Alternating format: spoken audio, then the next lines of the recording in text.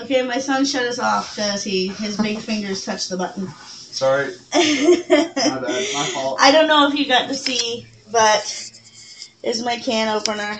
It's just a little like me, full of power. But Okay, what Tiny. first? The beans. hey, you can uh, start Open doing everything? open the beans and the sauce, and we're gonna dump it all into this pot together. Okay, lift it up. No, bring it over here. Lift it up. Lift it up. Turn it towards you so you can see. Squish. It was him. Yeah, but sometimes it will stop, and you just have to be. let me do it. Let me do it. I got it. I got it. Alright, you know how to do it now? Yes. It's temperamental, like me.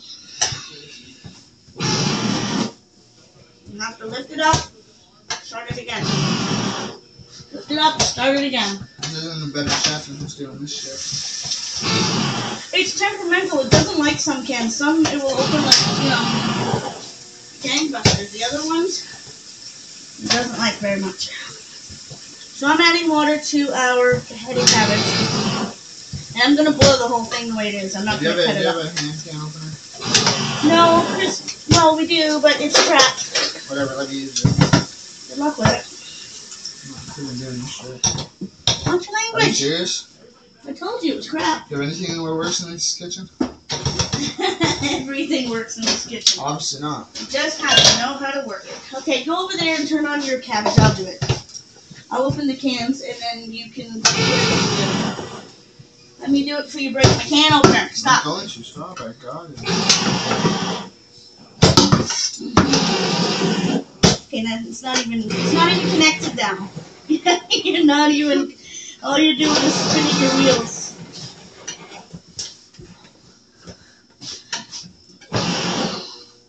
You're gonna want to do that for all of these cans by yourself, or are you gonna let your mother do it, stubbornness? Okay, let me do it. Stop, stop. You're gonna break my can opener. This is, this is just. what the hell are Come you on, doing? guys. Like, really, You see on. what he did? Come on now. Well, at least I can, I can dribble out the ooze. Look at that. Now, you don't use this stuff. Look at that. That's, that's gross. It kind of looks like something bled into the sink. Look. Are you boiling this? Yep. Well, it's not on. I know it's not on. I was waiting for you. You told me you wanted to do it, so I'm, I'm letting you do as much. it on.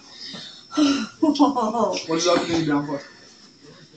The oven doesn't need to For the be on. cabbage. Honey, that's the stove top. Not the oven is down there. You don't need the oven yet. Turn that on to max. And then when we get to the oven part, you can we'll I'll just turn it on and let it preheat. no, it'll just heat up the kitchen.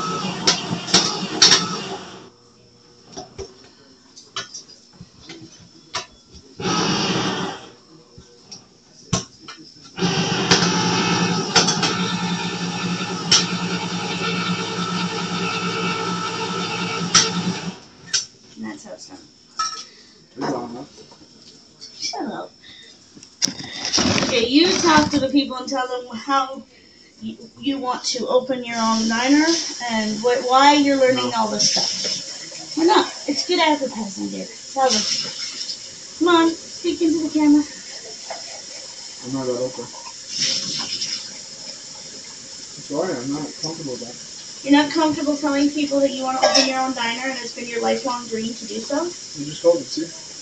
Tell them what you want to do. You just told them. There's nothing else to say. There isn't? What is it that you, why are you I got here? the idea from the TV show Gilmore Girls that my mother and my sister used to watch. How old were you? Uh, I don't remember. Must have been what, four or four. Oh, I don't maybe think- You were in school, so you were probably grade one or two. Okay, so there you go, six or seven. Anyways, Luke's Diner gave me the idea, and I wanted to do it since. And we've talked. Food is the only thing that's ever interested me. So yeah, Yeah, he was kind of a bad kid in school. He didn't like a lot of different um, things. I didn't like school. But The whole concept is a little much. If you ask me. Colin is one of my witchy kids. He, him and his sister decided when they were about 14 years old that they wanted to be initiated. And he is also my stray collector. When I made the video earlier about Not just animals, people too. yeah, when I made the video earlier and I told you about all the different kids that used to come to my house that weren't mine, but they hung out at my house all the time, it was usually his friends. And we'd go, I'd take them down on the Those are all trail. well, no, because Daryl, Ryan did a little bit. Daryl and, and Kenny and all those people, Chantel. Hey guys, if you're watching. Um, anyways, when I took them down to the trail to do wildcrafting, and we, we would pick uh, fiddleheads and stuff like that, stinging nettle, I taught these guys how to how to recognize stinging nettle. Tell them how I taught you how to recognize stinging nettle, Colin. Oh, we whip them with it. Watch them, watch them itch. yeah. We're a little cruel, but I mean, Most people fun. do not know what stinging nettle looks like. They'll walk through it, they'll get stung, and they won't know what stung them because they haven't got a clue, right? Um, here in the city of Oshawa, there's a lot of kids in the south end, well, most of Oshawa, that, that go down on that trail and don't even know what they're looking at. I know a lot of kids didn't even know what, what touch me nots were, which is sad. When I was a kid, I loved playing with touch me nots. so, So we would get all of my son's little friends to touch them, and they jump and scream, and then they become obsessed. Yep, you can use that one. Um, I'm just putting everything in the pot right now. Um, I always rinse and reuse my cans. I have a project that I'm going to be doing with cans in a later episode. Um, later episode. This could be a TV series. it could. This is how those millions. this is how those um those guys that Chris likes to watch. Uh, what is it? Epic Food Empire. Uh, he watches it. He's obsessed with these guys. They were Used to be. Epic Mealtime when they started on YouTube. Yeah, they started on YouTube. Pretty funny stuff. Yeah, go check Watch them it if out. you get a chance. So, anyways, as I was saying, mm, that's good. That one has brown sugar and spices in it. Ooh, that's gonna be good and chili. This one's just a plain one with tomato sauce. So, anyways, as I was saying, I'd take these guys down to the trail. We'd go get the fiddleheads, and we'd go get the stinging nettle, and I'd wildcraft, and then I'd bring them back, and everybody would have stinging nettle um, tincture or tea, uh, dandelion, dandelion wine. It wasn't actually alcoholic. It was more of a tea. It was a tea, and I told them it was wine, but uh, because they were all children. Good stuff. And um, I used to put raw honey in it when they were little, if they were sick, because it's really, really good for you. Them about the berry collecting. Oh yeah, down on the trail there's also natural, um, natural patches. Raspberries, Raspberries, blackberries. Blackberries, gooseberries. A yeah. little sour, acquired taste, I guess. That's because Not he for was me. eating them when they weren't Not uh, for quite me. ripe. Not for me. Gooseberry jam is actually really good, Jim. No, not for me. All right, um, this is getting a little long, so we're gonna do a part two. We'll come back and show you where we're at. We're we back? Yeah, we're back. Um, and Colin Live is starting. Angela's kitchen. No, I it's don't know what not. to call that. Granny was seventy three. Oh yeah, it's And it- it's like it's like it's like I'm looking at a giant when I gotta lean way back to get your face in the fucking frame. Oops. Okay, so Oops, sorry everybody. we're starting the meat for the chili. Yeah, and uh, how much meat you got in there? What's that? It's a half of a two right? pound roll, so, So a pound. pound. A pound of pound of ground beef. And then we put a lid on the cabbage. You see the color change in the cabbage now? It soon will be. You don't have to cook the cabbage through, but the uh, softer it is, the easier it is to roll. And over here, we got all of the the guts in the, of the chili is in there. All we need to do is add the meat and put it on Mm, and the looks tasty. spices and some veggies and we're gonna add some of the peppers in here and I've got some celery in the Speaking of that, I fridge. cut those, right? Yeah. Um well first I'm gonna show in this meat I will be putting uh or Colin will be putting some rice. We're gonna cook this up for a little bit and then we're gonna add it to the meat.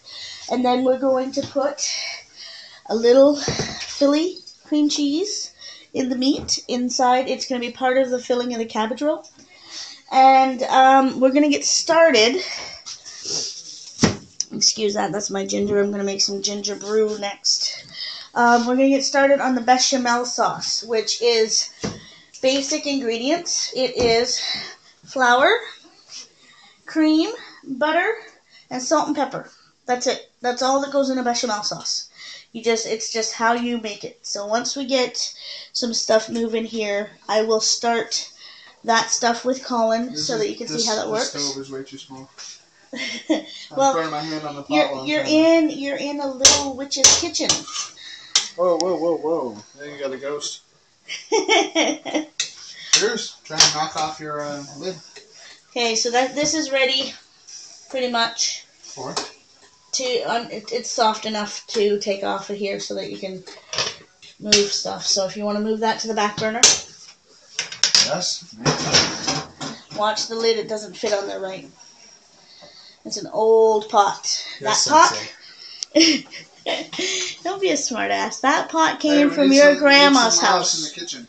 Need some laughs in the kitchen? Gotta have laughs. As long as you're not burning yourself. You can move that over to the bigger burner if it would be easier. Actually, No, you know what? Right. Let's put the chili on that burner now. The chili pot. Get the chili pot. Get a spoon out of here. Just put it in the sink. Sink's clean. Put the chili on here. Put that on high. No, put it on medium or it'll splatter Uh, everywhere. You need I a know, lid for that. it's on medium, don't worry. Lid down here. Big lid. Big lid. Big lid without destroying everything. There you that go. up. That way it doesn't spit all over the place. And we're using my little card table because, as you can see, my kitchen is teeny tiny with this big giant son of mine in it. And, um, okay, so the mixture that he's doing right now, you can add your spices right to the meat if you like while you're cooking it. But I don't normally. I put it into the chili because we're going to slow cook that, that baby until it all everything is tasting good. All right, that's good enough, honey. You can shut off that and throw all that meat through a drainer. Here.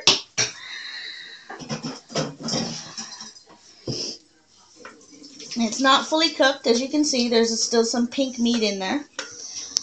And uh, you want to drain it so that you don't get a whole bunch of oily, because we put water in there so that it didn't stick. We don't add oil to the meat. Um, otherwise, it's not lean ground beef anymore, right? So, now that it is semi-cooked and there's still some pink, you're going to put it into the chili sauce. Use your spoon.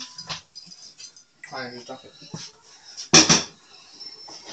You're going to dump it, but you're going to want to get all of your meat in there, and it's just easier if you have a spoon.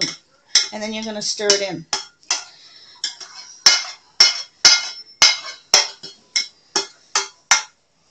Okay. Now, while he's doing that, I am going to take you to my pantry. And it is over here. This is my pantry, and here we're going to get some spices. Alright, there's some chili powder, and some chicken spice, and some cayenne pepper. And I have other spices in my kitchen. Here's my boyfriend, Chris. Hello, Christopher. Hello.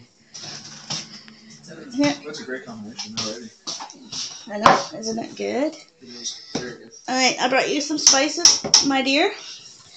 Now, in a pot that size, I don't measure anything. I do it by the palm. And I have been By teaching. I have been teaching Colin how to do that. So Colin, an easy trick. you're gonna take a little bit of that.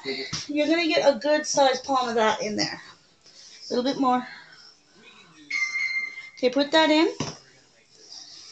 And now stir it up and give it a little taste. Always use that? that that's chili powder. Oh, okay. Stir it in good. Always use a clean spoon to taste your food, especially if you're making food for other people. It's good housekeeping. Colin, look at the mess you're making. Look at that. this case, hey, You're hey, we're in the kitchen. It's messy. You're tainting the cabbage. No, didn't touch it. It's on the lid. And look at this mess. Anyways, in this case, I am cooking dinner for the other side of the family. and what side is that? That is my daughter's side. Yeah, and her, their names are. Ray, Claire, and Tyler Begbie. And do a shout out. Say hey guys. Hey guys.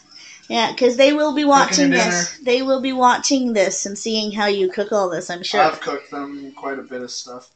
I've made. I, last meal I made them was a meatloaf, yeah. mushroom stuffed meatloaf. It was fantastic. First meatloaf I ever made. And what was in it? Mushrooms. Um, there's some onions and some garlic. Honestly, there's Cream, herb and garlic cream cheese. Yeah, there's some herb and garlic cream cheese. Um,